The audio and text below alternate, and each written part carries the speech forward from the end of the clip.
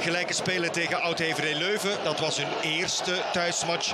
En tegen Standaard, dat is niet zo lang geleden. Dat werd twee keer 1-1. Want de nul houden, dat is toch ook een klein probleem bij Cercle. Dat is hen alleen gelukt. Jescott, goed gekaatst. Morioka. Dat is een goede aanval. Er is ruimte op de linkerkant. Morioka kan het misschien zelf doen. Probeert dat. En Morioka schiet hem binnen. We zijn twee minuten bezig.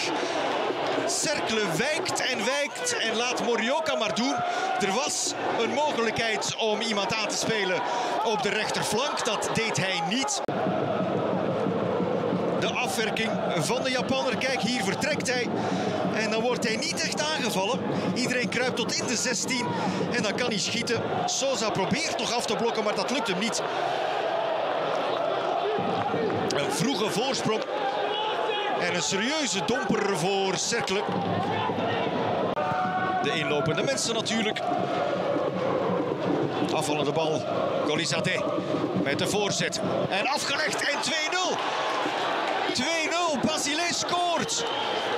Het loopt daar achterin bij Cercle helemaal in de soep. Zeven minuten gespeeld en 0-2 voor Charleroi. En het is Loïc Basile, de Fransman. Uiteraard nog eens kijken of er geen sprake was van buitenspel. Dat moeten we tegenwoordig altijd doen. Golizade. Eentje loopt achteruit. De aflegger van Knezevic is heel goed hoor met de borst. Heel bewust gedaan. En Basile.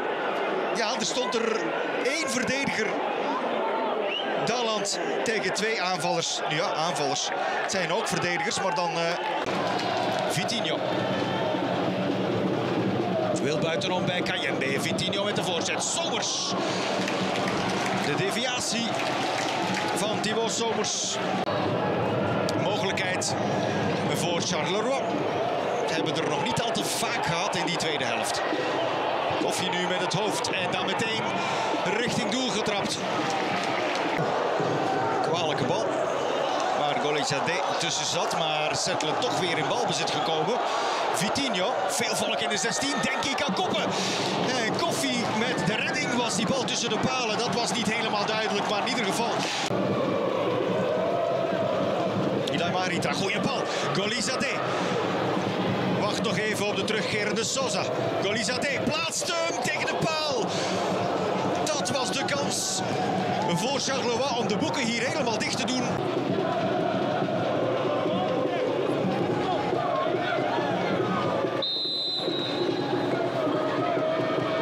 Daar komt die bal scherp en de goal van Daland.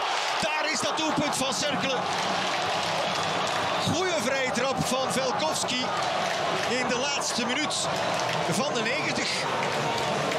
Maar er komt ongetwijfeld nog een beetje bij. Jesper Daland. Hij is de man die net voor koffie komt.